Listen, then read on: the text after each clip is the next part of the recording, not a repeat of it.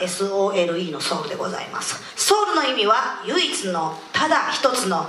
このコンテストで唯一の存在になれるように踊りで私たちの世界観を届けます。よろしくお願いいたします。ということでねチーム名にも意味がこもっているということで from 東京静岡の2人組です。ソウルどうぞ！